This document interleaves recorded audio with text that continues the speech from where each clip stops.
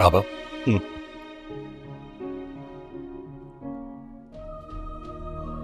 रजा चचा से किया था जो वादा आपने वो आज पूरा कर दिया। आप कहते थे ना कि आप वरीशा को खुश देखना चाहते हैं। उसका एक अपना घर होना चाहिए। आज देखिए आपने वो सब कर दिखाया। I am so proud of you जानते हो आज जब महक वरीशा को यहाँ से लेकर गई थी ना तो एक बोझ सा था मेरे दिल पर। अपनी रजा की औलाद को इस घर में पलता फूलता देखना चाहता था। उसकी हर ख्वाहिश को पूरा पूरा होता देखना चाहता था। लेकिन महक ने मेरी एक ना सुनी और उस वरीशा को लेकर चली गई।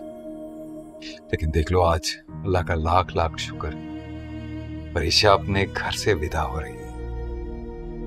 फिर अल्लाह ने मुझे मेरे भाई के सामने शर्मिंदा होने से बचा लिया। आप किसी के सामने शर्मिंदा नहीं होंगे बाबा। आप जानते हैं मैं हमेशा से आपकी तरह बनना चाहता था। लेकिन आज तो दिल में दिल में एक चैलेंज सा आ गया कि आपकी तरह बनने के लिए बहुत मेहनत करनी पड़ेगी। आज मैं चाहता हूँ कि मेरे बाद तुम वरीशा का ऐसे ही ख्याल रखो।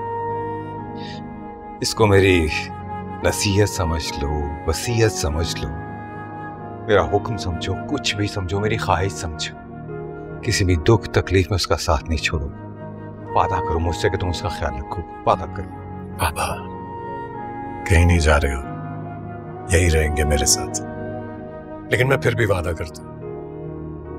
मैं हमेशा वरीशा का ख्याल रखूँगा।